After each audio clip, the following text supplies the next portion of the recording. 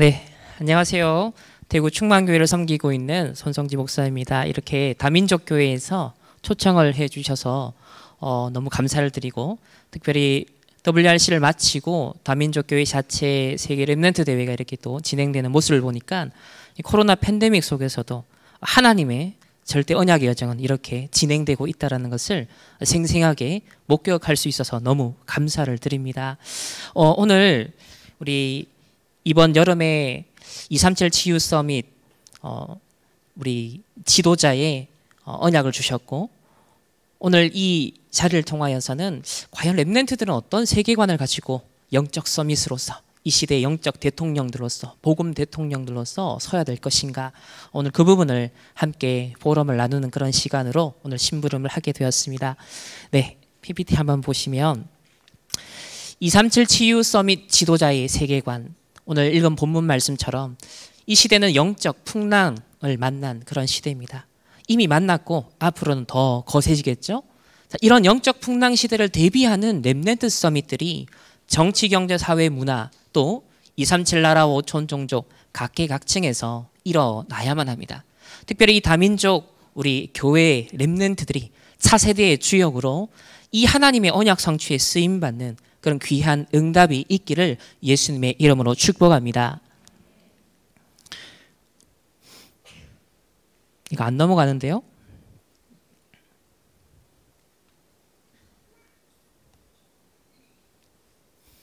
네. 오늘 우리 읽은 본문의 말씀에 바울이 이 풍랑을 만난 그 상황, 인간의 방법도 소용이 없고 또 앞서 전도자의 말도 무시했던 그런 시대입니다. 우리가 살아가는 시대가 개독교라고 하고요. 어, 정말 복음을 뭐같이 알고 하나님의 영광이 이 땅에 떨어져 버린 그런 시대를 살아가고 있습니다. 인간의 지식과 지혜와 또 인간의 소유를 내세우는 시대, 어, 인간의 바벨탑을 내세우는 시대를 살아가고 있습니다. 하지만 성경은 증거하기를 반드시 그 시대는 한계에 직면하며 풍랑만 난 시대에 이를 것이다 라고 성경은 말하고 있는데요. 앞으로 우리가 살아가게 될 시대, 우리 후대들이 랩넨트들이 살아갈 시대는 4차 산업이 또 코로나 팬데믹의 많은 후유증들이 더 크게 일어나게 될 그런 시대를 살아갈 것입니다. 무엇보다도 사단의 배경하에 3단체의 그런 시스템 속에서 우리 랩넨트들이 증인으로 살아가게 될 것인데요. 오늘 바울이 그 위기 상황에서 답을 줍니다. 하나님이 주신 언약의 말씀을 가지고 주의 사사를 통하여서 전달받은 하나님의 약속의 말씀을 가지고 안심하라, 평안하라, 현장에서 정확한 답을 주는 그런 모습을 볼 수 있습니다. 그래서 오늘 우리가 보게 될 어, 세상 나라의 어, 여러 가지 현장들, 흐름을 전도자의 관점에서 보시면서 정말 우리에게 전달된 이 복음이 얼마나 소중한 것인가. 정말 이 오직의 복음이 세상의 모든 바라보는 관점도 오직 복음의 관점으로서 정말 충분하고 모든 것이 된다라는 것을 우리 랩넨트들에게 어릴 때부터 심겨진다면 분명 이 시대 영적 서밋들로 차세대 지도자들로 쓰임이 밟게 될 줄 믿습니다. 어, 저는 제 관점을 말씀드리는 것이 아니라 전도자 류광수 목사님을 통하여서 근 30여 년 동안 들었던 말씀 속에 형성되었던 전도자의 관점을 우리 랩넨트들에게 소개하고 싶습니다. 저 역시 92년도 초등학생 때부터 랩넨트로 자랐습니다. 그리고 세계관을 따로 배운 것이 아니라 전도자의 말씀, 메시지, 훈련 속에서 전도자의 관점을 엿볼 수가 있었어요. 그리고 나도 모르는 사이에 그 눈으로 현장을 보게 되고 사람을 보게 되고 사건과 문제와 갈등도 보게 되더라고요. 심지어 문제와 축복을 보는 눈도 달라지더라고요. 그래서 전도자의 관점이 어떠한가?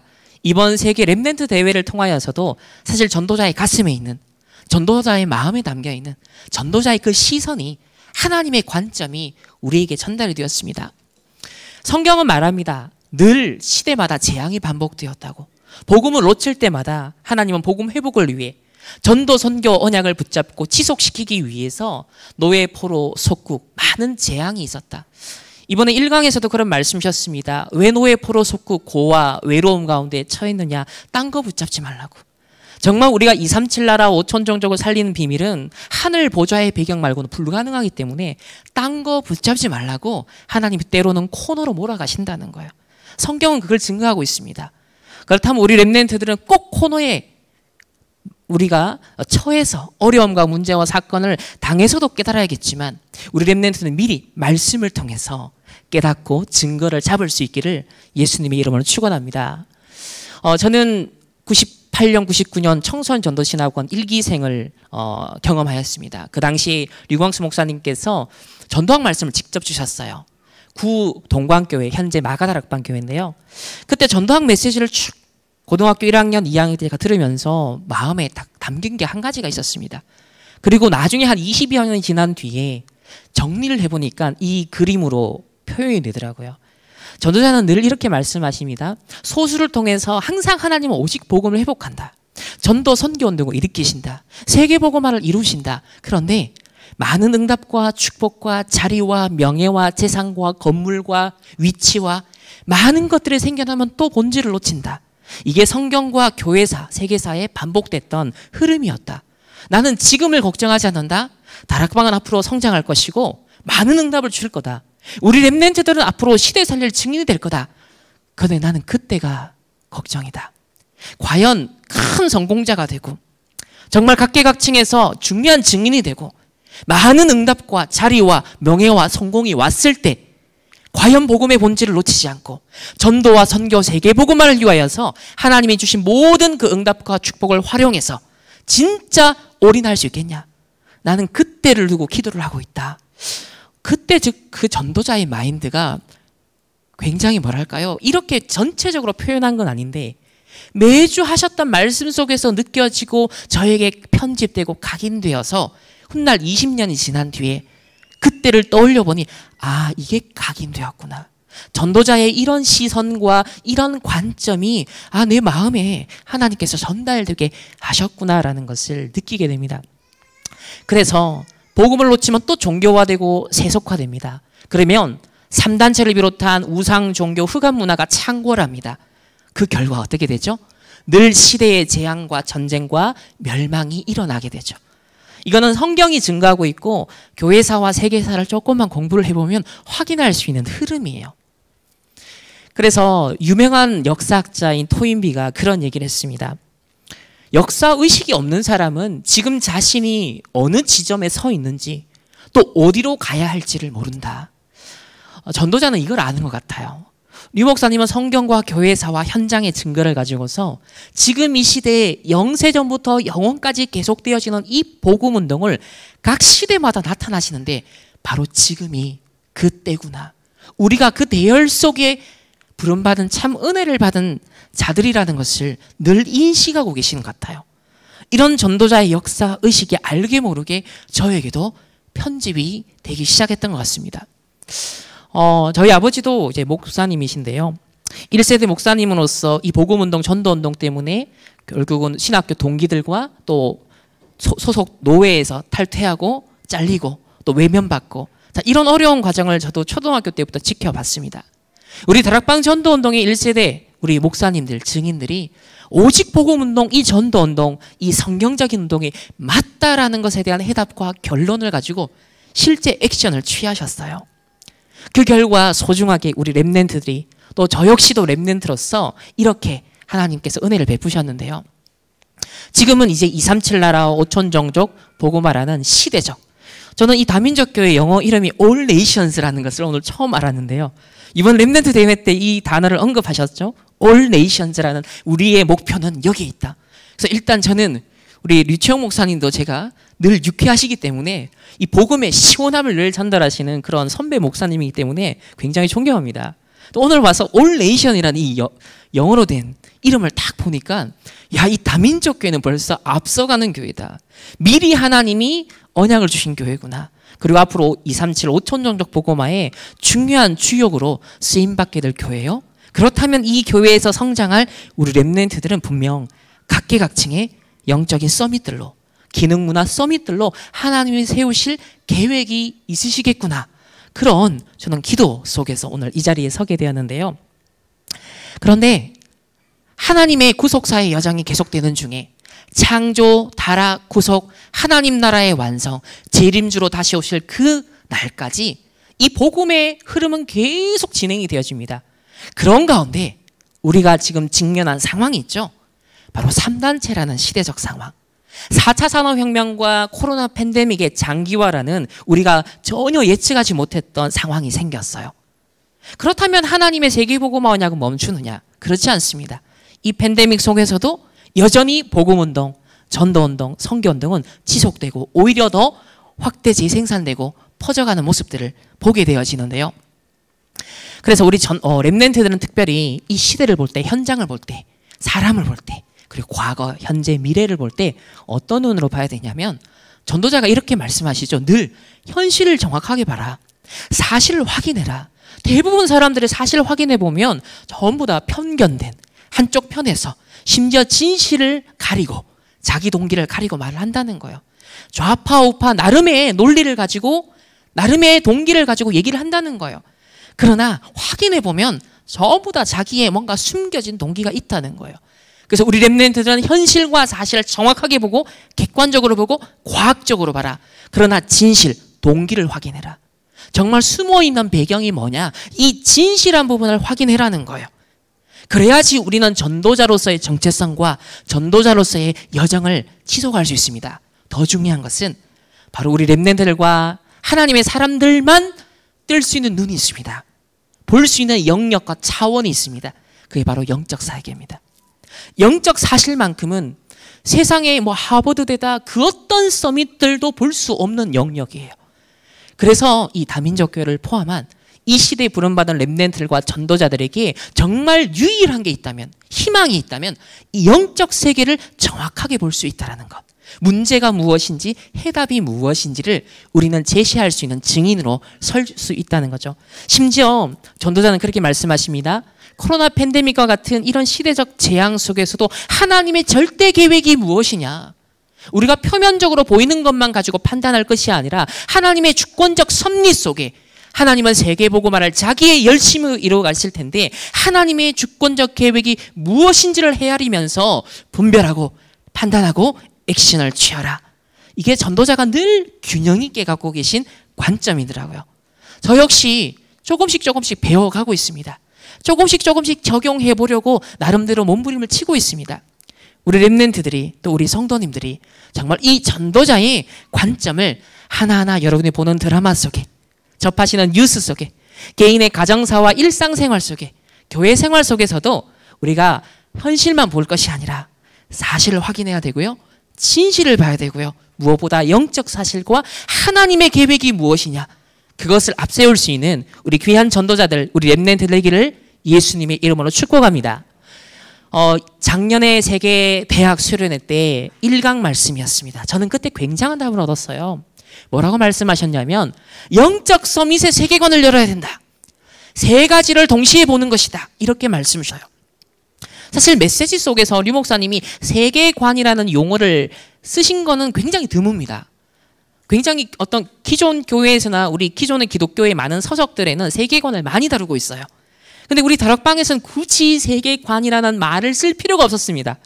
전도자가 창세기 3장, 6장, 11장에 비롯한 12가지 문제를 갖고 세상을 인식하고 개인을 바라보는 것, 3단체를 비롯한 사단의 나라가 임해 있는 이 현장을 보는 것 자체가 우리의 관점이었던 거죠. 굳이 세계관이라는 거창한 용어를 쓸 필요가 없었습니다. 그냥 전도자의 눈으로 보는 겁니다. 현장 보는 눈인 거예요. 그리고 거기에 해답이 왕 제사상 선지자로 오신 그리스도가 오직이다. 그 그리스도만이 필요하다라는 그 근본 문제와 근본 해답을 통찰하고 그것을 적용하는 것. 그게 사실 우리의 세계관이었죠. 근데 약간 이제 응용력이 필요해진 시점이 왔어요. 한 5, 6년 전부터 동성애다, 페미니즘 운동이다, 자, 여러 가지 또 뭐 반일 일, 어, 우리 No Japan 그러면서 세상의 정치, 경제, 사회, 문화 다양한 이슈가 있죠.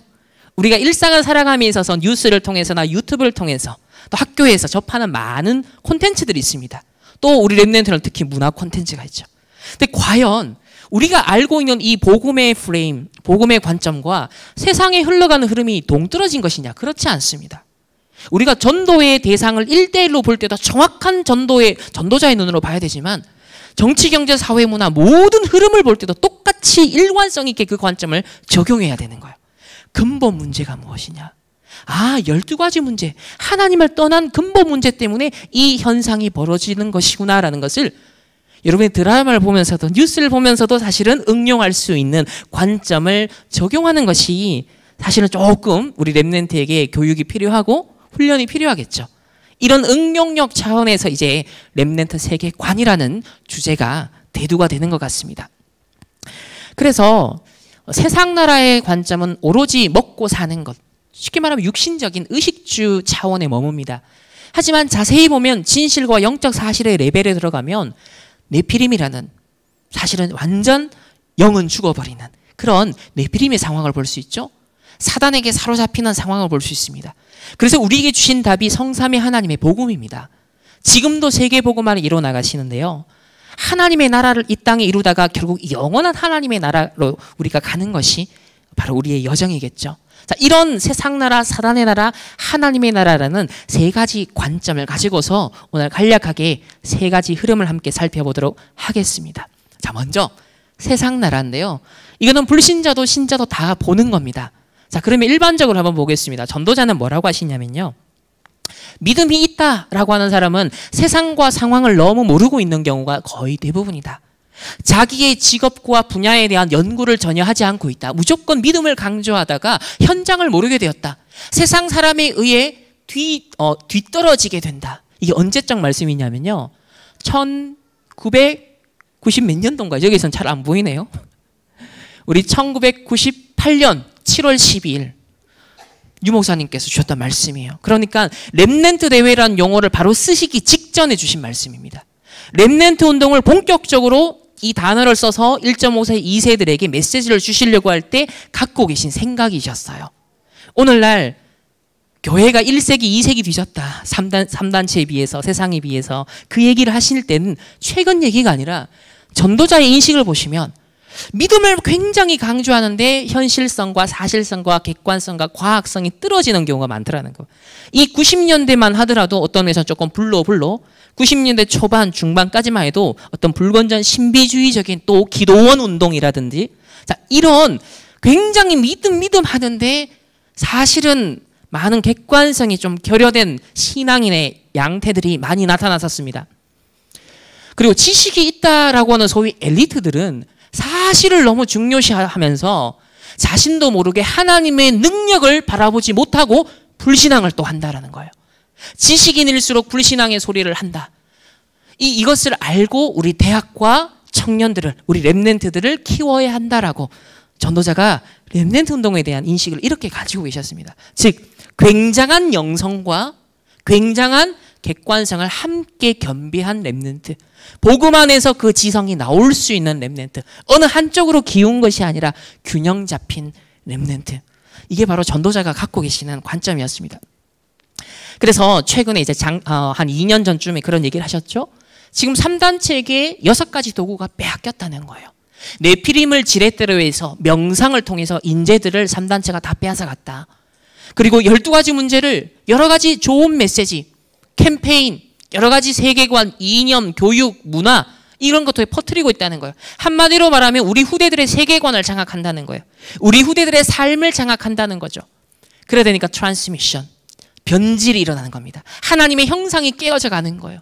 정신적으로 또 중독이 되고 질병이 일어나고 결국 무너지게 됩니다. 그들은 유일성 작품, nobody의 작품을 만들고 플랫폼을 만들고 아웃소싱을 해 나가고 있습니다. 우리는 지금 그것을 목격하고 있고 코로나 팬데믹을 통해서 실제로 3단체가 만든 시스템과 플랫폼을 사용하지 않고서는 실제로 살아갈 수 없는 이제는 시대가 되어버렸죠. 어, 약 2000년 전에 바울이 사역했던 아주 중요한 캠프 현장 중에 하나가 에베소였습니다.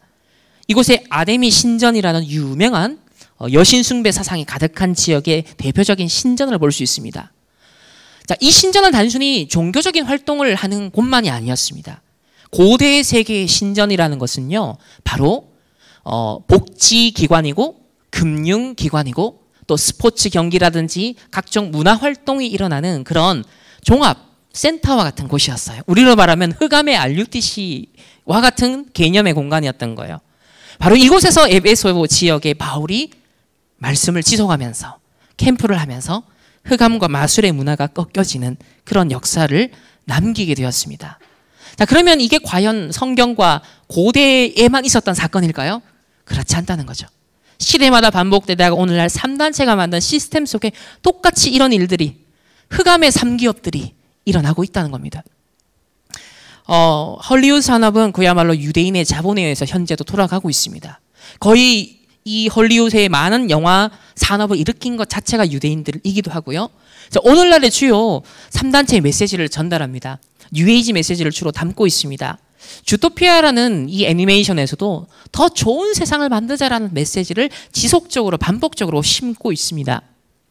빌 게이츠도 지금 코로나 팬데믹에 굉장히 많은 이렇게 활약을 하고 있습니다. 근데 더 나은 세상을 만들자라는 운동을 하고 있고요. 마크 주커버그도 마찬가지입니다. 이들의 소위 좀 의식이 있다라는 세상의 3단체의 엘리트들은 한결같이 부르짖는 메시지가 어떻게 하면 더 나은 세상을 만들까? 세상을 개선해보자. 세상을 더 좋게 만들어보자. 라는 되게 좋은 취지의 메시지를 던지고 있어요. 구글도 마찬가지입니다. 더 나은 세상을 어떻게 하면 만들 것인가를 고민하고 있습니다. 유대인들이요, 이제 메시아를 더 이상 절대 구원자 메시아를 기다리지 않습니다. 너무 지쳐버렸어요. 홀로코스를 겪으면서 무신론 세대들이 많이 일어나 버렸습니다. 그래서 메시아 대망 사상이 어떻게 변질이 됐냐면 인간은 하나님과 함께 협력하여 세상을 개선시켜 나가는 존재다. 메시아라는 것은 어느 날 세상 구원을 위해 호련히 나타나는 게 아니라 이제는 스스로가 협력하여 미완성 상태인 이 하나님의 창조 세계를 인간이 완성시켜 가는 것이다. 이게 티쿰 올람이라는 사상입니다. 즉 내가 메시아가 되는 거예요. 우리 모두가 개별적인 메시아가 돼서 협력하여서 불완전한 세상, 많은 사건, 사고, 재앙, 부조리하고 불합리하고 많은 구조적인 문제들이 정의롭지 못한 문제들이 생겨나는 이 시대를 개선해 나가자. 세상을 변화시켜 가보자. 이게 바로 오늘날 유대인들이 변질된 메시아 사상, 티쿠몰란 사상입니다. 프리메이슨에서도요, 공식적으로 내세운 메시지가 뭐냐면, 더 나은 사람이 되어서 더 나은 세상을 만들자는 거예요. 그래서 실제로 어떤 일들을 하고 있냐면, 호주의 프리메이슨의 한 프로젝트를 예를 들면, My Eye Health 프로그램이라 그래서 호주의 프리메이슨과 대학 안과 학생들, 학과와 연계하고 맹인 협회와 안과 전문 의사들이 연합을 해서 어떤 캠페인을 벌이냐면 시각 장애 방지를 위한 눈 건강 교육 프로그램을 실시하였습니다. 또 영국에는요, Grand Royal Arch Mason이라는 거, 어, 단체가 있습니다. 여기서 자선 사업을 하는데 특징이 있습니다.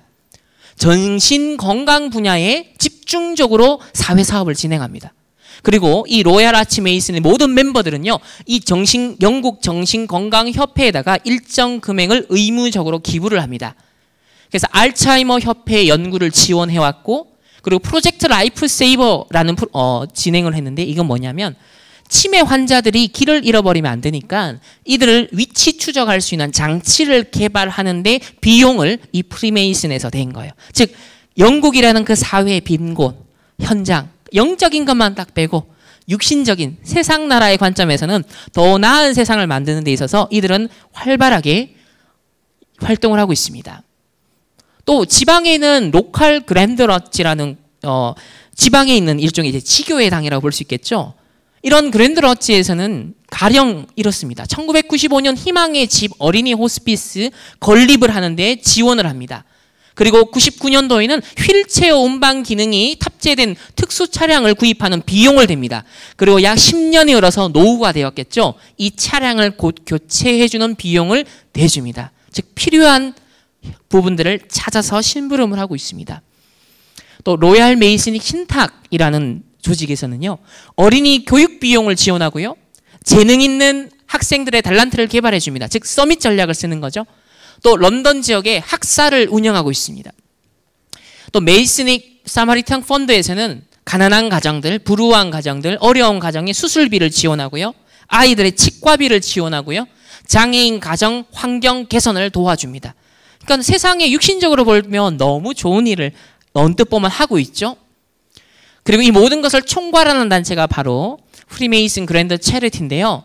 현재 약 2천억 정도 돈을 지원을 해왔습니다. 그리고 상시적으로 약 420억 원 정도의 규모를 펀드를 조성하고 있어서 필요한 사업에 필요한 현장에 빈 곳에 바로바로 바로 투입할 수 있는 상시 420억 정도의 기금을 운용하고 있죠. 그렇다고 할 때 전도 선교의 전략적인 측면에서 보면 이들은 빈 곳에 바로 대응할 수 있기 때문에 세팅된 캠프가 가능하다는 겁니다. 그래서 취약 계층을 지원하고 후대를 양성하며 의학 연구 기금을 지원하고요. 호스피스 보조금을 지원합니다. 또 영국에는 어, 긴급 환자가 발생했을 때 이렇게 헬기를 띄워줘요. 근데 그 헬기를 띄우는 비용이 엄청나죠. 이 air ambulance 지원도 프리메이슨에서 합니다. 긴급 재난 구호금을 주고요. 또 각종 거, 종교 건물을 유지 보수하는 보조금도 여기서 지원을 하고 있습니다. 그래서 소위 237 5촌 종족의 이들이 육신의 많은 혜택을 주면서 영향력을 지금까지도 계속 확대시켜가고 있습니다.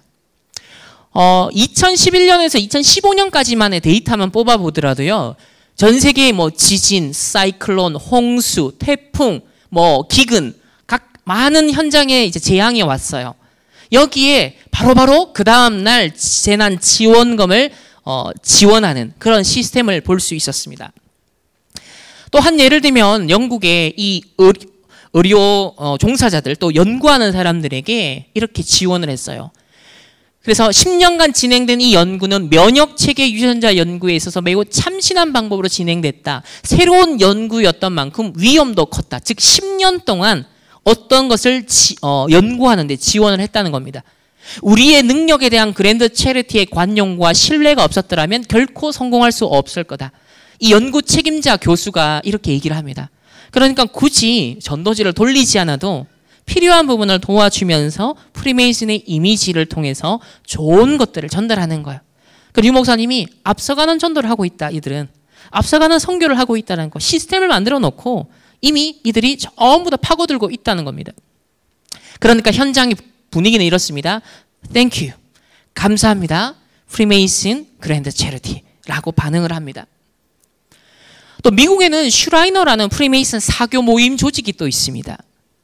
어린이 치료를 통해서 세상의 변화를 꿈꾼다라는 비전을 갖고 있는데요. 이 CVDIP가 현재 성공을 해서 미국에서 어린이 병원 중에 최고의 quality를 자랑하는 인정을 받는 곳이 바로 Shriner hospital입니다. 그리고 어린이들은 무료로 혜택을 받을 수 있습니다. 미션을 보시면 어린이를 위한 최고 수준의 의료 서비스를 제공한다. 의료 전문인들의 교육 서비스를 제공한다. 어린이 치료에 대한 새로운 연구 지원을 한다라는 3대 미션이 있습니다. 그러면서 어린이 치료 전문 분야의 세계적 리더가 되자. 어, 이 시설을 한번 보시면 저는 약간 이 조사를 거의 한 8년 전쯤에 제가 하면서 조금 충격과 도전을 받은 것은 이거였어요. 아이가 병원에 입원해 있는 동안 학교를 못 가죠. 그러면 교육에 단절이 생깁니다. 갭이 생겨나죠. 병원에 선생님이 있어요. 그래서 이 아이가 치료를 받는 동안에도 교육에 갭이 발생하지 않도록 그 빈 곳을 채워주는 교육 시스템을 갖추고 있더라고요. 저는 이건 어느 병원에서도 상상하지도 못하고 생각을 해도 실행하지 못하는 사실은 부분이잖아요. 그런데 저는 이 병원에서 그 빈 곳을 채우는 걸 보면서 참 앞서간다. 정말 부모된 심정에서 아이가 병원에 누워 있을 때 학교를 가지 못하고 이 아이가 또 친구들이 앞서가는데 거기에 대한 상대적인 뭔가 허전하고 박탈감과 내가 뒤처진다라는 압박감, 스트레스가 있겠죠? 그것을 최고 quality의 시설에서 아주 좋은 선생님을 붙여서 채워준다는 거예요. 그러니까 어떻게 이게 보세요. 부, 모님과 아이의 입장에서는 이 Shriner라는 병원에 대한 이미지, 프리메이슨에 대한 이미지가 너무 좋을 수밖에 없는 거예요. 이건 굳이 교회 오세요 할 필요가 없는 겁니다. 그리고 지속적인 교육을 누구에게 하냐면 하버드대 의대생을 비롯해서 소위 미국의 제일 엘리트들, 그 의대생들을 이곳에서 인턴십을 시키는 거예요. 그러면 그 인턴십을 받으면서 이들이 느끼는 게 엘리트들이 느낀 게 뭘까요? 야, 이 슈라이너라는 프리메이슨에 사는 일이 너무 세상을 더 낫게 만드는 데 도움을 주고 있구나라고 인식이 되겠죠. 그래서 의과생, 간호학과생, 전문 임상의학자, 전문 의사들의 지속 교육, 그리고 의대와 연계 세계 최고의 수준의 의료진들과 회신을 돌면서 그런 교육을 또 시키는 다양한 어, 시스템 역할을 하고 있는 그 에베소 지역의 아데미 신전이 있었던 것처럼 이 시대의 프리메이슨과 3단체 각계각층에 파고든 그들의 시스템, 그들의 플랫폼을 통하여서 자연스럽게 흘러 들어가는 겁니다. 또 방탄소년단에 대해서 류 목사는 최근에도 언급을 하는데요. 그 이승원 씨 아시죠? 단월드를 만든 이승원 씨가 만든 그 글로벌 사이버 대학의 이 BTS 멤버들이 대다수가 졸업을 하였습니다. 거기서는 단군의 사상과 또 명상 교육을 철저하게 시키고 있죠. 방탄소년단이 전 세계에 뜬 그 배경에 이런 메시지가 있었습니다. 사람들은 성장을 하면서 뭔가 만든 세상의 틀에 부모의 틀에 교육의 틀에 나를 끼워 맞추는데 그 틀에 매이지 마. 네가 있는 자신 모습 그대로를 사랑해. 너 있는 모습 그대로가 소중해. 그러니까 세상에 이게 히트친 거예요. Love yourself라고. 그러니까 어떻게 지금 BTS 보고마가 되고 있냐면 자기를 믿어주고 자신의 힘을 믿어주라고 말합니다. 힘이 된 거예요. 그래서 저는 최근에 유산을 경험했는데 그때 저에게 위로를 준 건 BTS 음악이어서 치유 사역을 하고 있습니다. BTS는 제가 매일 아침에 일어나고 제가 삶을 찌서가는 삶의 이유입니다. 뭐예요? 전도자의 삶. BTS 전도자의 삶이 일어나고 있고요. 제자들이 일어나고 있는 거예요. 저는 불안장애와 공황장애가 있었는데요. BTS 음악이 저를 치유했어요. 그러니까 치유사역 곧 서밋의 증인들로 이렇게 인터뷰를 하는 모습을 볼 수 있고요. 솔직히 제가 오늘의 저로서 살아갈 수 있는 삶의 이유라고 합니다. 오늘 여러분이 이 자리에 모인 이유는 오직 복음의 이유 때문에 모인 줄 믿습니다. 우리 랩넨트의 이유 때문에 생을 걸 분들이 모인 줄 믿습니다. 그래서 비록 BTS 노래의 가사가 대부분 한국어로 되어 있지만 가사가 전하는 자기를 사랑하는 메시지는 언어를 뛰어넘어요. 뭐요? 2, 3, 7, 5천 종족이에요.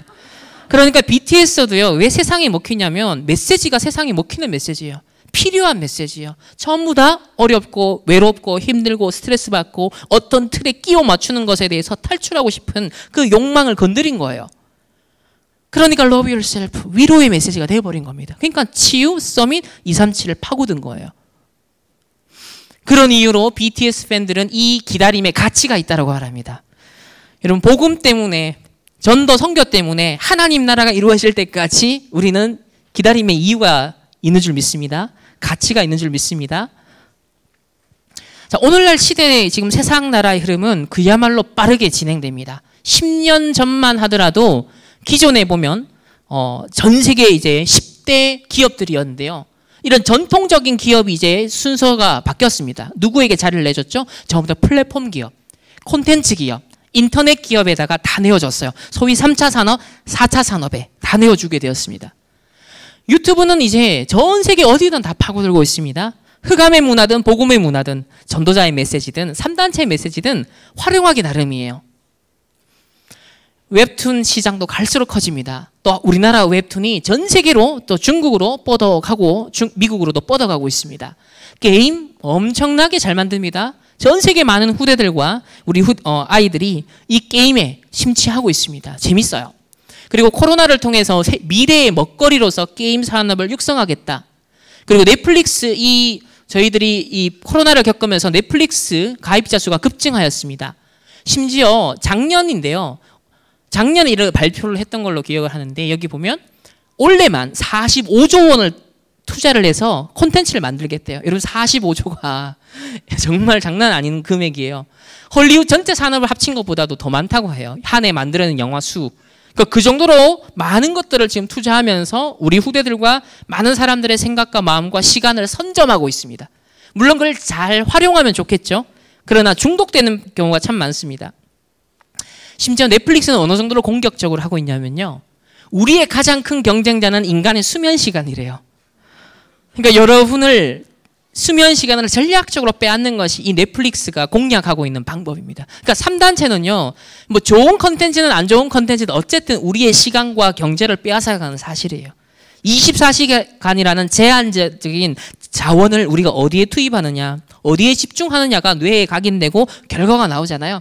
근데 지금은 코로나를 통해 더 심하지만 어쨌든 가상 세계에 우리 이런 디지털 컨텐츠를 소비하는 것에 많은 시간이 투입이 되고 있다라는 것을 무시할 수가 없습니다. 이제 더 나아가서 메타버스 시대가 온다고 합니다. 아직까지 좀 생소하실 거예요. 우리 어른들은. 기존에 있는 인터넷 정도가 아니라 이제는 아예 가상의 아바타. 이 인터넷에 소위 이제 부캐라 그러죠. 나라는 존재를 또 다른 캐릭터를 만들어 가지고 존재하는 거예요. 그래서 직업도 가질 수 있어요. 경제 활동도 할 수 있어요. 문화 활동도 할 수 있어요. 그러니까 나라는 정체성을 이중으로 삼중으로 가질 수 있는 거예요. 그러니까 신나는 일인 거예요. 굉장히 인터넷에서 나를 알리지 않고도 얼마든지 나를 표현할 수 있는 그런 세계가 펼쳐지고 있는 거예요. 이 메타버스 시장은 지금 전 세계 앞서 있는 서밋들이 선점을 하고 있습니다. 이 시장 자체가 2025년이 되면 6배, 2,800억 정도의 그런 6배로 성장할 거다. 달러입니다. 달러. 그러니까 굉장히 기하급수적으로 성장을 하고 있습니다. 그러다 보니까 우리나라에도요. 이 네이버에서 만든 제페토라는 메타버스가 있어요. 이 공간에 2억 명이 지금 가입해 있습니다. 2억 명 중에 90%가 우리나라 사람이 아니라 다른 나라 10대들이에요. 그러니까 지금의 10대들이죠. 지금의 10대들이 메타버스 세계에서 놀고 있다는 거예요. 그러니까 많은 문화 콘텐츠를 2차, 3차 다시 가공해서 여기서 많은 뭐 콘서트도 하고요. 여러 가지 제품들도 판매하고요. 굿즈도 판매하는 거예요. 사람이 모이는 곳에 마케팅이 따라붙게 돼 있지 않습니까? 한 예로 블랙핑크라는 가수가요. 작년 9월에 제페토에서 팬 사인회를 했는데 몇 명이 접속했냐면 동시 4,600만 누적 숫자가 4,600만 명이에요. 우리는 1천만 1천만 하는데요. 이, 이, 이 메타버스 세계에서는요. 누적 조회수가 들어온 사람이 4,600만이에요. 그리고 제페토 캐릭터를 활용한 아이스크림 댄스 퍼포먼스 뮤비가 한 달 만에 유튜브 7,200만을 찍었습니다. 어, 올림픽 스테디움에서는요, 아무리 공연을 해도 10만 명 이상 못 모여요. 그런데 이 가상 세계에서 공연을 해버리니까요, 전 세계에서 몇 천만 명이 동시 접속하니까 수익이 훨씬 많은 거예요. 그러면 세상의 서밋들은 이 현장을 놓칠 수가 없죠. 그래서 특별히 우리는 237 나라의 관점에서 보면 이 네이버 제페토만 하더라도 90%가 해외에서 접속을 하기 때문에 이 10대들이 237의 현장이라는 거죠. 여기에 상담센터가 설치된다면 어떻게 될까요? 여기에 뭔가 후대들에게 인생의 답을 주고 진로 상담을 해주고 위로를 해주고 답을 줄 수 있는 캠프가 펼쳐진다면 어떻게 될까요? 이 시스템을 우리가 빨리 선점할 필요가 있다라는 거죠. 그래서 전도자도 비유드시죠? 세상은 지금 고속 열차를 타고 쌩 달려가는데 우리는 뭐 하고 있냐? 교회는 뭐 하고 있냐? 겨우 자전거를 타고 있다. 아니면 걸어가고 있거나 심지어 역행하고 있다는 거예요. 자, 이런 안타까운 전도자의 심정이 저희들에게 공감이 돼야 됩니다. 정말 확인이 되셔야 돼요. 그 언약적 한이 복음이 뒤질 수 없는데 그런데 현실은 뒤처지고 있다는 거예요. 이 흐름을 바꿀 수 있는 길이 도대체 뭐냐는 겁니다.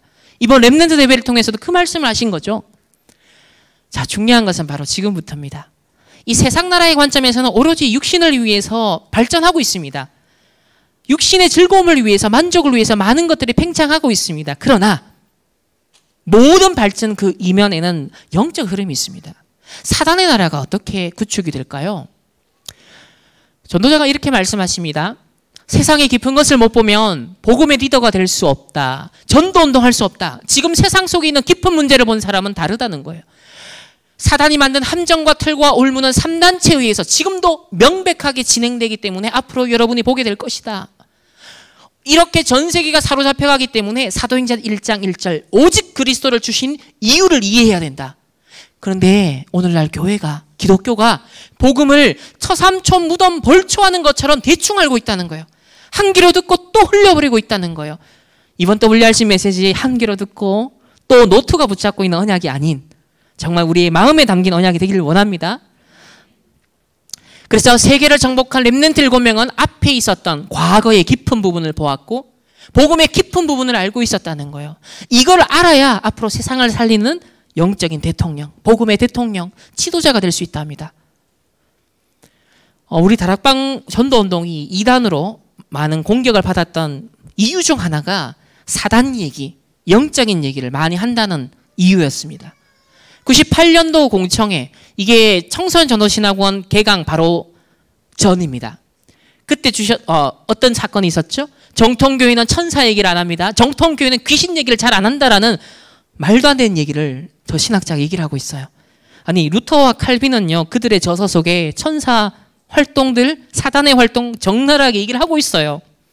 제가 전공했던 논문을 썼던 조나단 에드워즈 목사님 정말 천사 얘기, 흑 사단의 얘기 정말 많이 합니다. 정통이에요. 다, 다 칼빈주의예요. 그런데요, 기존 교회가 복음을 놓치고 영적인 세계를 놓쳐버린 거예요. 불건전 신비주의만 하는 거예요. 오히려 교리만 붙잡고 있는 거예요. 현장을 못 봤다는 얘기죠. 전도자가 이렇게 말합니다. 무당 사역 해보니까 무속인 사역을 해보니까 계속 사단이 공격하는데 이걸 이길 수 있는 신분과 권세를 확실하게 심어줘야겠다. 근데 성경에 있는 얘기고 바울이 했던 사역이고 예수님이 하신 사역이지 않냐. 말하지 않을 수 없다는 거예요. 그래서 그 당시에 국내 무속인 40만이다. 막 이렇게 얘기를 하시면서 그러다가 어느 날 3단체 얘기를 하시죠. 똑같이 영적으로 활동을 하고 귀신 들려 접신 운동을 하고 있는 오늘날 3단체 얘기를 그렇게 이런 맥락에서 하고 계십니다. 오늘날 프리메이슨이 왜 지속될까요? 왜 그들은 없어지지 않을까요? 전도자가 어떤 글을 읽었다 했습니다. 저도 확인을 해보니 그들은 영적 활동을 합니다. 기도를 하고 있어요. 명상을 하고 있습니다. 접신 운동을 하고 있어요. 신비주의 인문의식이란 걸 하고 있어요. 여기 보면 프리메이슨 백과사전을 찾아보니까요. 그들은 등급이 있습니다. 우리로 말 영적 레벨이 있어요. 이 영적인 레벨이라는 것은 발걸음을 의미한다. 우리로 말 여정을 말하는 거예요. 언약의 여정인 거예요. 낮은 수준에서 높은 수준으로의 영적 지식을 향해 올라가는 발걸음이자 신비주의 세계를 향해 떠나가는 빛의 여정이다. 라고 표현을 하고 있습니다. 그래서 프리메이슨이 모이는 곳을 지부, lodge라고 하죠. 근데 그 건물만을 의미하지 않고 한 개개인의 내면이 lodge라는 거예요.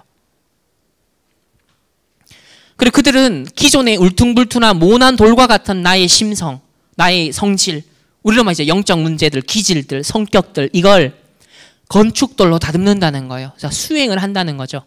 프리메이슨의 각종 의식과 명상을 통해서 활동을 통하여서 최고의 존재로 우리가 거듭나려면 질 낮은 천성과 기질을 와르르 무너뜨려야 된다. 모난 돌의 상태로 프리메이슨에 들어가서 울퉁불퉁한 기질을 매끄럽게 갈고 닫으며 깨달음의 경지로 즉 불교의 수행이나 똑같습니다. 프리메이슨의 인문의식을 통해서 결국 자기를 찾는 거예요. 우리로 말하면 원래의 나를 찾겠다는 거예요. 이렇게 망가진 나가 아니라 원래 완전했던 나를 찾겠다는 거예요. 작년이었는가요? 영화 소울이라는 애니메이션이 있었습니다. 이 애니메이션 역시 디즈니에서 만든 건데요. 여기 보면 주인공이 딱 성공의 길을 갈 수 있었는데 하필 그날 사고를 당해서 죽게 됩니다. 그리고 죽음과 함께 태어나기 이전에 세상에 돌아오게 되는 것에서 시작이 되는데요. 자, 여기서 이 소울의 시나리오 작가는 영혼 선제설이라는 것을 잘 알고 있는 것 같습니다. 여기서 영혼 선제설이라는 건 뭐냐면 영혼들이 모여있는 따로 모여있는 세계가 있다는 거예요. 우리에게 있는 영혼들이 우리가 태어나기 전에 영혼들끼리 모여있는 어떤 장소가 있다라는 거예요.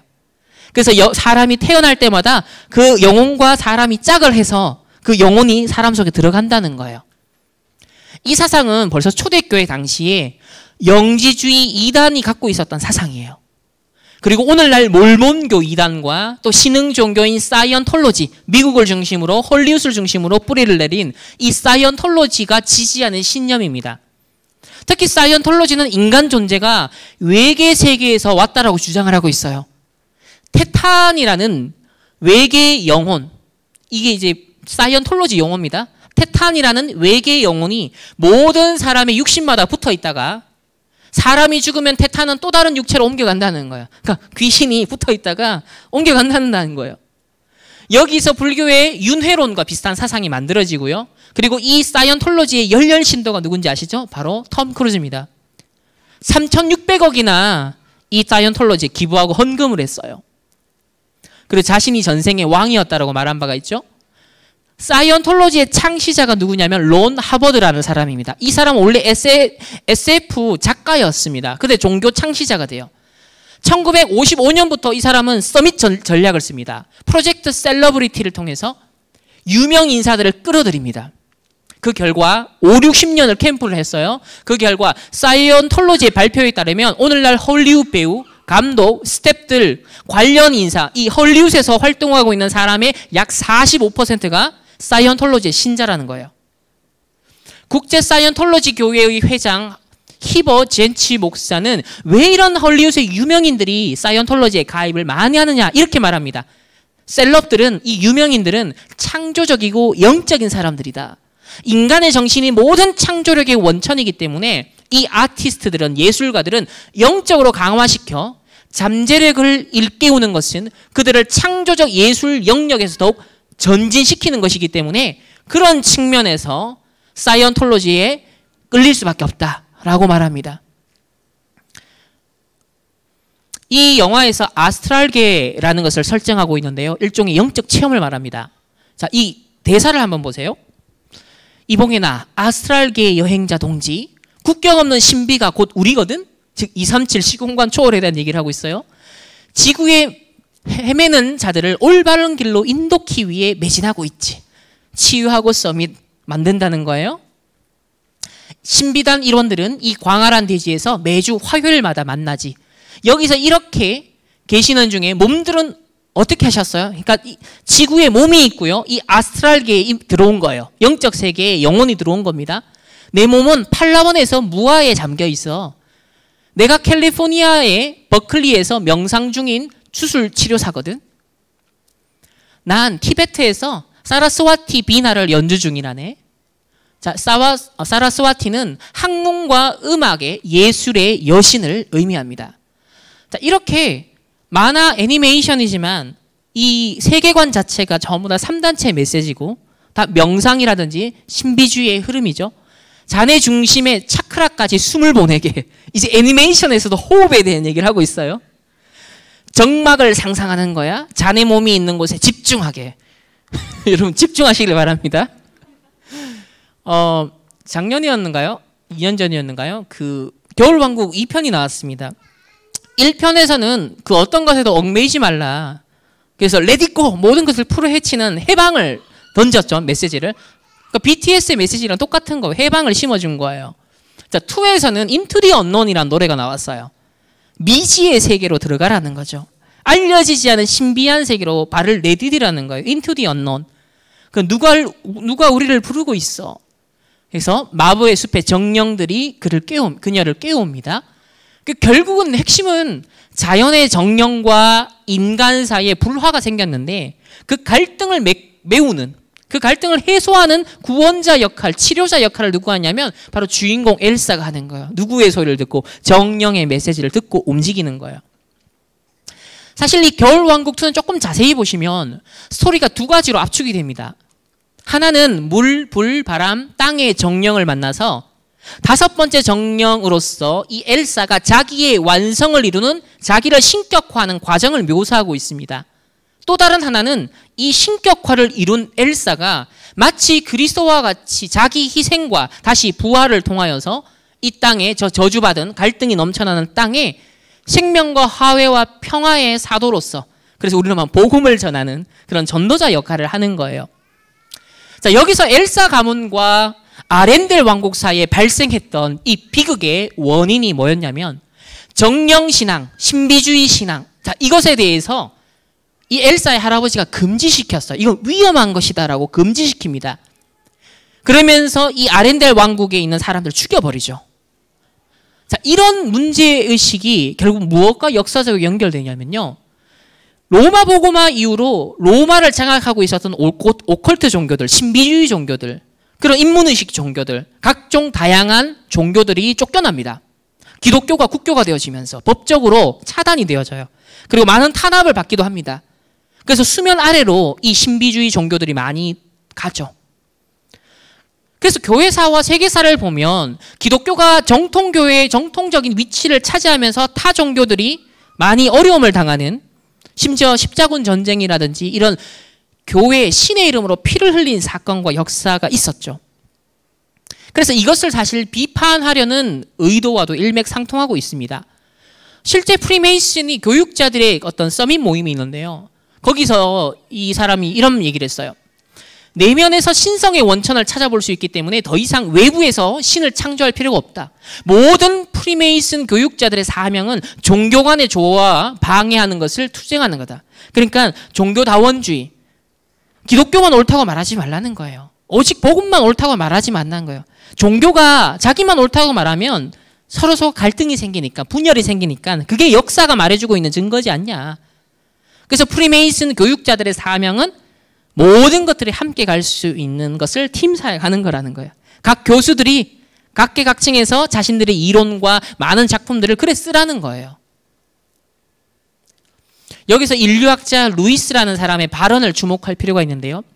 교회가 사탄의 역사로 인해서 일어나는 귀신 들림을 점점 더 가볍게 취급하고 19세기에 발흥했던 세속주의와 또 오늘날 현대과학이 그런 주변적인 귀신 들림과 관련해서 자연스럽게 회의주의, 불신앙을 확산시킬지라도 귀신 들림 현상은 완전히 사라지지 않았다라는 그러니까 교회가 귀신 들리는 현장에 관심이 없다는 거예요. 여전히 있다라는 거죠. 그는 영국의 빅토리아 시대, 소위 19세기입니다. 영국의 빅토리아 시대, 어마어마하게 대영 제국이 창궐하는 그 시대입니다. 이때 1859년 다윈, 찰스 다윈이 종의 기원이라는 책을 씁니다. 아주 과학적으로. 그런데 이 책이 출간된 이후로 강신술이 역설적으로 급증합니다. 영국에서. 그러니까 학문이 발전하지만 그 이면에는 영적으로 또 다른 흐름이 나타난다는 거예요. 그보다 한 세기 앞선 18세기 계몽주의 시대 유럽에는요. 특히 영국에서 합리주의, 과학주의, 또 이신론과 같은 이런 이성적인 종교가 유행을 합니다. 그런데 아이러니하게도 그 18세기에 현대 프리메이슨이 새롭게 시작이 되고 드르교와 같이 영국이 복음화되기 전에 가지고 있었던 전통적인 고대 종교가 영성이 부흥합니다. 1960년대 서구 사회에서 일어난 주술적인 의식에 대한 열광적인 관심은요. 1970년대 오컬트 대폭발로 이어집니다. 미국의 중심, 미국을 중심으로요. 그리고 오늘날 그 오컬트 대폭발이 뉴에이지 운동으로 계승이 되어졌죠. 그래서 초월적인 세계에 대한 신비적인 세계에 대한 관심이 서구 사회 서밋들을 중심으로 70년, 80년, 90년 무르익더니 이제 2000년대 들어서 대중화되기 시작했습니다. 2010년 이후로는 이제는 일반인들에게도 과학적이다, 의학적이다 그러면서 퍼져 들어가기 시작했죠. 명상 운동이. 그래서 이 오컬트 운동을 젊은이들이 이 70년, 80년대 했던 젊은이들이 지금 이제 기성세대가 많이 되어 있고 또 히, 엘리트 히피들, 이 실리콘밸리를 형성하고 있는 초기 멤버였던 이 엘리트 히피들 역시 6, 70년대 이 오컬트 주술 문화에 심취했던 사람들이고 마약과 명상운동에 심취했던 사람들이죠. 자, 그들은 기존의 기독교적인 서구 방식, 서구, 서구의 사고방식 세계관을 탈피하고 뭘 찾았습니까? 동양의 철학, 불교, 힌두교, 요가, 명상에 심취했습니다. 그 대표적인 주자가 바로 그 당시 20대를 보내고 있었던 스티브 잡스입니다. 그리고 그는 평생 30년 동안 명상을 하다가 비교적 일찍 병들어서 죽었죠. 그러나 그가 만든 스마트폰은 우리가 이제는 사용하지 않을 수 없는 시스템 속에 우리가 살아갑니다. 그래서 SBNR이라는 용어가 대두가 되었어요. Spiritual but not religious. 뭔 말입니까? 특정 종교인은 얽매이지 않으나 영성은 추구한다는 거예요. 오늘날 서구 사회의 엘리트들이 갖고 있는 태도입니다. 기독교가 한계에 도달했다라고 진단하는 학자들은 앞으로 엑스터시, 영적인 체험, 명상 등 일상과 다른 체험을 줄 수 있는 종교가 인기를 끌 것이다라고 전망합니다. 그래서 미국과 유럽에는요, 지금 젊은이들이 기독교를 떠나서 어디에 빠져들고 있냐면 고대의 영성, 고대의 종교, 기독교가 퍼지기 이전의 그 종교의 영성을 찾고 있습니다. 빌 게이츠도 최근에 이제 명상에 대해서 깊은 이해를 하게 됐다고 하죠. 유발 하라리가 쓴 책을 통해서 그래서 유발 하라리는 뭐라 그랬냐면 마지막에 21세기를 위한 21가지 재현에서 마지막에 명상을 해야 살아남는다 이 어려운 시대에 말을 합니다. 저는 좀 도전을 받은 게 이 내용이었어요. 24살 때 바로 2000년도입니다. 2000년도 처음으로 10일 동안 명상을 했다는 거예요. 10일 동안 명상을 했는데 이때 얻은 통찰력을 가지고서 지금까지 왔다는 거예요. 그리고 명상을 통하여서 얻은 지혜와 지식을 가지고서 전 세계 히트친 그런 호모데우스라든지 사피엔스와 같은 지성인들이 기본 베이스로 깔고 있는 그런 세계관을 형성하게 됐습니다. 특히 오늘날 새롭게 나온 진화론의 바탕이 바로 이 유발 하라리가 말하는 역사관에서 비롯되고 있습니다. 지금도 매일 2시간 명상을 한대요. 그리고 매년 한두 달은 아예 딴짓, 딴 거 안 하고 명상 훈련을 한다는 겁니다. 그야말로 40일 집중. 열흘 동안 마가다락방에 모여서 똑같은 일을 하고 있는 거예요. 그러니까 유 목사님이 내피림 운동이냐 성령 운동이냐 지금 그 말이 그냥 말이 아니에요. 그래서 90년대 초반부터 이 버닝맨 축제라 그래서 미국의 소위 정치, 경제, 사회, 문화 각계각층의 서밋들이 모여서 일주일 동안 축제를 합니다. 그래서 그들은 명상도 하고요. 이제 실리콘밸리를 중심으로 명상운동이 아주 세련되게 브랜드화 되었어요. 위즈덤 2.0이라 그래서 여기 보면 글로벌 마인드풀네스 서밋 여기 보면 237 치유 서밋 다 들어가 있죠 개념이. 그러니까 세상의 3단체 사람들도 237 치유 서밋이라는 것을요 갖고 있는 거예요. 우리나라에도 이제 스타트업을 한다, 소위 창업을 하는 젊은이들에게 접근해 들어옵니다. 실리콘밸리에서 명상이 유행을 하고 스트레스를 완화하고 새로운 아이디어를 창출하는데 이런 집중이 도움이 된다. 고대의 지혜와 IT 기술을 영, 섞어보자라는 거예요. 여기 보면 그래서 위스덤 2.0이라는 거 나옵니다. 고대의 지혜와 현대 IT의 만남. 이 고대의 지혜는 뭐가 포함되냐면 고대의 영성들. 프리메이슨 뉴에이지에서 지금 추구하고 있는 그런 각종 신비주의 인문의식들. 이런 고대의 각종 오컬트적인 것들이 다 포함이 되어 있습니다. 심지어 불을 훔친 사람들은 세상의 서밋들이 어떤 영적 집중을 하는가에 대한 다룬 책인데요. 여기에는 엑서시를 얻는 네 가지 힘이 준비됐다. 이렇게 말합니다. 심리학, 신경생리학, 영, 양리학, 기술력. 이제 이것이 접목이 되어서 절제된 마약을 활용해서 사람을 쾌락을 느끼고 뭔가 초월적인 의식을 갖게 만들 수 있는 이걸 지금 꿈꾸고 있다는 거예요. 이미 6, 70년대 히피 반문화 운동을 했던 이 미국의 이 엘리트들은요. 사실 유대인 학 허버드대 교수인 이 유대인 학자가 그 당시 몇 종류가 안 됐던 마약을 100가지 종류로 늘렸어요. 이게 바로 6, 70년대 일어난 사건이거든요. 그러니까 복음을 놓치니까 유대인을 통한 많은 재앙이 확대 재생산되죠. 하버드 환각클럽이라는 책을 보시면 확인하실 수 있습니다. 지금도 미국에는요, 한 해 마약 중독 상태에서 태어나는 아이가 2만 7천 명이래요. 지금도. 근데 문제는 얼마 전에 미국에서 귀국한 스탠포드에서 어, 학사를 어, 석사를 마치고 돌아온 법 철학을 공부하고 온 Remnant 얘기를 들었어요. 지금 미국은 이미 동성애라든지 이런 것은 법적으로 끝났다는 겁니다. 지금 논의가 되고 있고 유대인들이 로비를 하고 있는 게 뭐냐면 마약의 대중화입니다. 마약의 제도화입니다. 그래서 마약이 의료용어로 합법화가 됐죠. 그것도 사실 빈 곳이 굉장히 많이 생겨나는데 더 제도화 시켜 가겠다는 거예요. 그럼 지금 그게 미국에서 서밋들이 유대인들이 로비를 하고 있는 주제예요. 그럼 앞으로 어떤 시대가 될까요? 지금 우리나라에도 음성적으로 마약이 굉장히 많이 침투하고 있습니다. 심지어 청소년들도 손을 대기 시작했어요. 그래서 중독이 이제는 사상과 문화와 여러 가지 콘텐츠에 또 중독이 되고 있습니다. 제대로 집중할 수 없는 과몰입 상태. 그리고 선택들이 자동화되고 있습니다. 알고리즘이 추천해주는. 우리 뇌가 퇴화하고 있죠. 그래서 세상이 만든 3단체가 만든 알고리즘이 만든 세계관, 가치관을 그대로 답습하고 있습니다. 우리가 영적 집중을 하지 않으면 제한적 집중, 의식적으로 멈추고 말씀을 묵상하지 않으면 자동으로 모든 것들이 길들여지는 나도 모르게 상태가 되는 거예요. 디지털 신호에 의해서 좌지우지되는 그래서 가상 세계와 사실상 24 상시 연결된 상태가 되는 거예요. 우리는 하늘 보좌와 연결이 돼야 되는데 시공간을 초월하는 비밀로 237 나라에 빛을 비추는 것으로 하나님과 연결이 돼야 되는데 이 코로나를 통해서 스마트폰과 각종 이런 콘텐츠 중독이 더 심해지고 있습니다.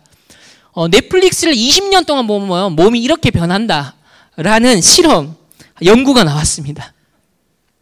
그리고 또 우리 여성분들은 쇼핑 중독. 이제는 플랫폼 전부 다 스마트폰으로 이, 이 쇼핑을 하면 정말 편리하죠. 그러나 또 장점이자 단점이 뭐냐, 뭔지 아시죠? 여기저기 돌아보게 되고 가격 비교한답시고 하나 사는데 한 시간씩 두 시간씩 보내다가 안 사도 될 거 굳이 다, 담다가 또 사게 되는 이런 쇼핑 중독이 점점점 어, 늘어나고 있습니다.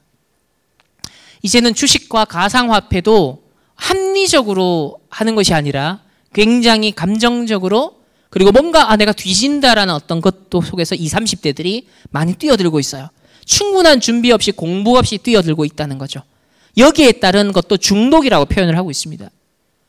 그래서 영끌이다, 비투다라는 이런 현상들도 앞으로 더 많은 지금 젊은이들이 무너지게 될 상황들이 만들어지고 있습니다. 자, 이런 지금 진실과 영적 사실을 보면 사단의 나라 어딘가에 중독되고 빠져들고 있는 그리고 영적으로 명상이라든지 사단의 그런 많은 활동들이 일어나고 있습니다. 사람들을 어딘가에 노예포로 속국화시켜 간다는 거죠. 세상은 발전하지만 그 이면에 무엇인가 갇혀가고 있고 잡혀가고 있다는 겁니다. 알고 보면 하나님을 떠난 인간이 흑암운동 공허 해결하는 수단이죠. 무엇인가를 집착하고 임시방편적인 구원의 길 찾는 겁니다. 그리스도의 대체물로 볼 수 있죠.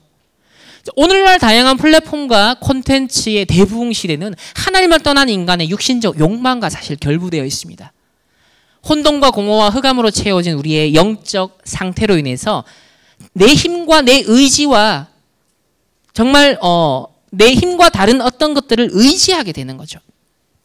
구원을 위한 임시 방편적이고 인위적인 몸부림을 칩니다. 또 죄와 사단과 지옥 배경 아래서 근본 문제를 해결하지 못한 사람들이 결국은 타락한 지성과 감성과 의지에 휘둘리는 노예의 삶을 살 수밖에 없죠. 끊임없이 재미와 흥미를 만족시켜주는 새로운 경험을 갈망할 수밖에 없습니다. 오늘날 등장하는 각종 플랫폼과 콘텐츠들은요, 임시적으로 충족시켜주는 일종의 창세기 3장에 나타나는 무화과 나뭇잎 치마와 같은 그런 역할을 하고 있죠. 아담과 하바가 하나님을 떠나자마자 두려움에 자신을 가리기 위해서 내가 없구나라는 인식 속에 하나님이 나와 함께 할 때는 있구나라는 인식이 있었어요. 충족했었어요. 그러나 하나님을 떠나는 순간 없구나라는 것이 생긴 거예요. 그러니까 그걸 가리기 위해서 부끄러움을 가리기 위해서 만든 첫 번째 문화 산물이 뭡니까? 무화과 나뭇잎 치마로 자기를 가려한 거예요. 세상의 모든 것들은요. 결국 자기를 가리는 수단이죠. 돈으로 가리기도 하고요. 명예로 가리기도 하고요. 자존심으로 가리기도 하고요. 여러 가지 물질적인 것들로 가리고자 합니다. 3단체는 그걸 잘 발전시키죠. 그러나 그 이면에 인간의 흑암운동 공허의 영적 상태는 더 악화되어 간다는 거예요.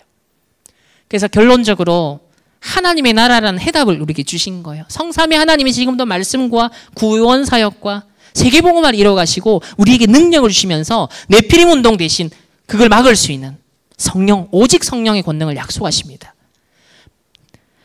전도자가 이렇게 말씀하십니다. 바울이 로마를 본 것처럼 앞으로 3단체가 이끌 성공을 내다보고 대비해야 된다. 로마는 이미 성공했다. 3단체가 가져올 실패가 있다. 틀림없이 온다. 그때 이 3단체를 통해 시대적 위기가 온다. 우리가 대비해야 될 것 이겁니다. 세상은 세상 나라는 육신적으로 풍성해지고 발전합니다. 4차 산업 엄청나게 발전할 겁니다. 그러나 그 이면에 사람들이 어떻게 더 공허해지고 더 정신적으로 문제가 오며 중독되어 갈 것인가. 또 명상운동, 각종 엑스터시 운동, 마약, 여러 가지 중독들이 나타나면서 사단의 나라는 어떻게 구축될 것인가. 거기에 따른 후유증을 전도자는 대비하라고 하십니다. 그래서 이것을 막아줘야 된다. 바울은 이걸 막았다. 바울의 후손들, 후대들, 전도자들이 일어나서 250년 만에 끝낸 거다. 이런 흐름을 읽고 미리 읽고 있어야 된다. 이걸 깨달았다면 굉장한 기회가 온다. 그래서 인생 전환점을 맞이한다. 어떤 면에서 다락방 전도 운동이 진짜 본격화되는 것은 바로 이 시대가 아닐까요? 후유증이 본격화되어질 때 이 복음 방주가 딱 준비된 곳에 하나님은 담아 주실 줄 믿습니다. 지금 알아야 될 중요한 부분 앞으로 세 가지 후유증이 온다. 종교 후유증, 지식의 후유증, 경제 후유증, 3단체 후유증, 4차 산업 후유증이 온다. 그 영적 문제 시대가 왔다. 여러분 때는 더 심해질 거다. 4차 산업이 본격화되는 날 정신병자 꽉 나올 것이다. 여러분의 때가 온다. 여러분의 교수님들이 오히려 치료받으러 올 것이다. 이렇게 전도자는 말씀합니다. 그리고 영적으로 다 무너진다. 시대 살리는 사람 살리는 주역이 될 수 있는 오히려 찬스다. 앞으로 랩랜드 시대가 온다. 영적으로 무장하지 않으면 기도할 줄 모르면 앞으로 아무 힘이 없어진다. 완전 기계의 종이 된다. 계속 발전하면 무시무시한 시대가 올 것이다. 분명 기회와 위기가 동시에 온다는 거죠. 그래서 이렇게 말합니다. 4, 4차 산업의 후유증을 막는 기도 계획과 시스템을 지금부터 준비해라. 오히려 우상 숭배하는 3단체가 대들고 있다. 우리에게 그냥 기도하라고 하신 게 아니다. 어마어마한 비밀을 우리에게 주셨다. 그래서 이번 랩넨트 대회에서도 핵심은 그거죠. 시공간 초월의 비밀, 보좌의 배경, 237 나라의 빛을 비추는 걸 실제로 찾아서 누리, 누리도록 해라. 전도자는 예나 지금이나 한결같이 똑같은 걸 말씀하세요. 집중의 시간을 꼭 가져봐라. 우리가 일단 내 능력 아니라 내 수준 아니라 하나님의 능력, 하나님의 위대임만을 원내스 하시는 이 비밀 속으로 들어가야 되니까 영적으로 집중해라. 우리 랩넨트들이 믿음이 잘안 생겨라고 질문했더니 당연하지. 믿음 하나에만 집중해 볼 수 있는 시간이 사실 없었지 않냐. 믿음에 관한 책 한 권도 안 읽어봤을 테고, 믿음에 관한 성경 구절도 성경에서 다 찾아보지 않았을 테고, 그러니까 주제를 가지고 파고들어 보려는 거죠. 누구나 다 기도가 안 된다고 한다. 그러나 이때 Remnant가 찾아낸다면 다 답이 된다는 거예요. 우리 특별히 다민족 교회 Remnant들이 앞으로 미래 복음 대통령 각계각층의 summit 지도자들로 기도하고 있다면 무엇을 찾아내야 된다? 바로 기도의 비밀. 영적 summit에 집중하는 타임을 찾아내야 됩니다.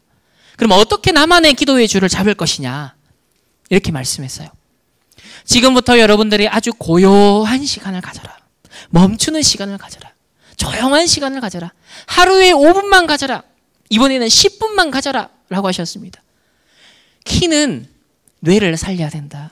그게 호흡이다. 눈을 감아라. 그러면서 집중하는 것이 가장 키다. 여러분들이 그냥 고만고만하게 살 거면 이렇게 안 해도 된다. 그러나 진짜 나는 서밋이 될 거야. 이런 언약을 잡았다면 반드시 이 시간을 가져야 된다. 라고 말씀합니다. 지금 세상 사람들이 하나님 없이 계속 집중하면서 악령의 역사가 일어났다라고 합니다.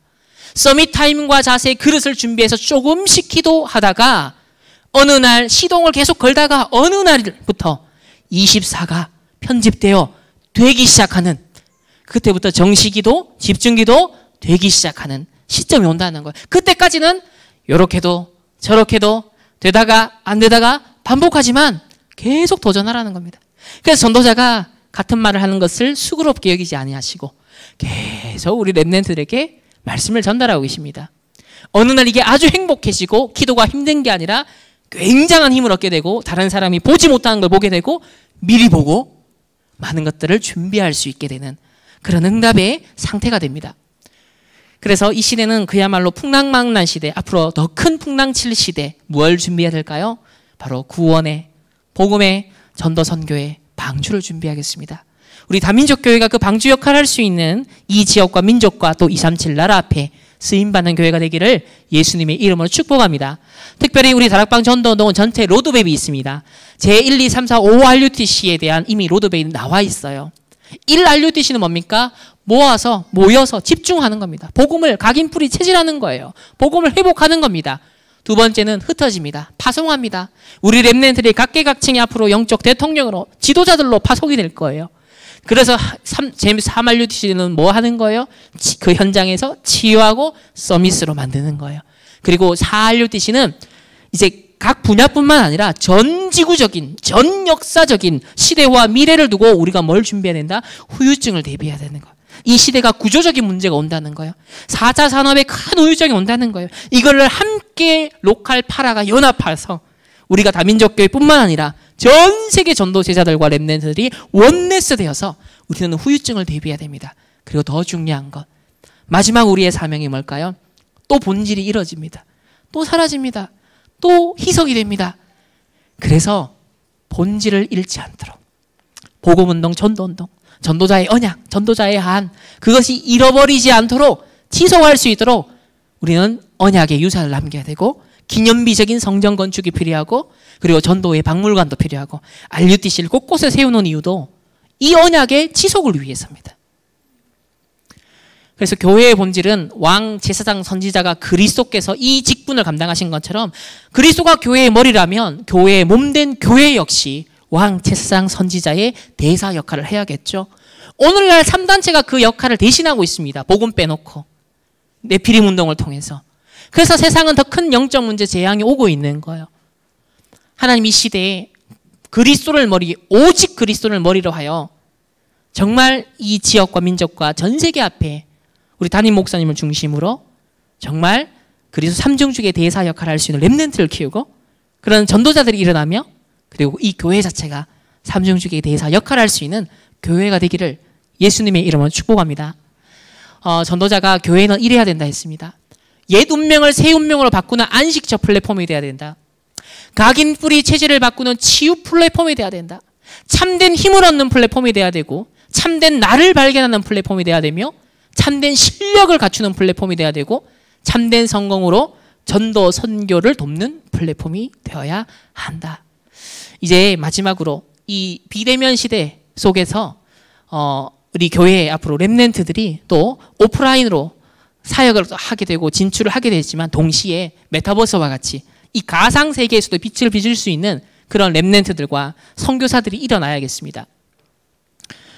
그래서 가상 세계 플랫폼의 237 치유 서밋 선교사들이 앞으로 우리 후대들 중에서 일어나서 많은 곳에 전 세계 2억 명이 접속하는 저 제페토 현장에서도 복음의 답을 주고 치유하고 상담할 수 있는 그런 전도자들이 어, 일어나게 되기를 소망하면서 이런 응답에 어, 정말 세상 나라만 아니라 사단의 나라를 보며 하나님의 나라로 이 흐름을 바꿀 수 있는 일에 가장 앞장서서 쓰임받는 우리 다민족 교회가 되기를 소망하며 오늘 특강을 마치도록 하겠습니다. 감사합니다.